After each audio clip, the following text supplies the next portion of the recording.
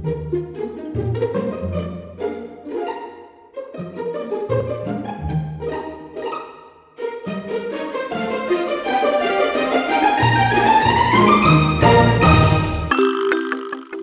uh, my name is Shan. I'm from Thailand, and I've been working here in SDT for five years. Well, this is my fifth year so far.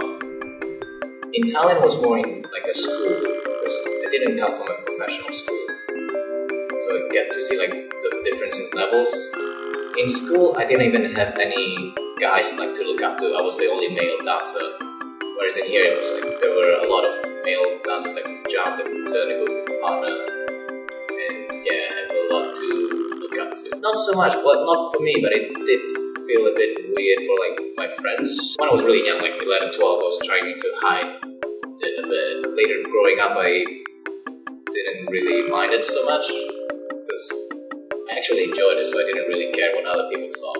The first Ballet Under the Stars dance that we did last year in 2017, to me, the toughest was like the stamina because they were all long. Like the first one was 15 minutes, almost 20 minutes long. Stamina wise, that was really hard to do. I just felt like after the first show, towards the ending of the third piece, I felt like I finally achieved something that I've never done before in, uh, my professional career. And like when I was on the side of the stage, ready to go on the next section of the very last movement, I felt like I, almost wanted to cry because I actually felt I wouldn't say proud of myself, but I felt like, okay, I finally got a step further that I could actually see it, feel it. When I do hip hop, I'm like very flowy, I move, while in ballet, I suddenly got very stiff. Like, I just thought like the idea about like being upright, just to the right positions, and with hip hop, it was like quite the opposite.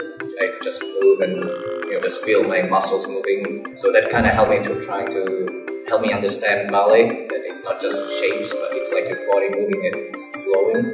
It's leaving is the rarest thing in the world.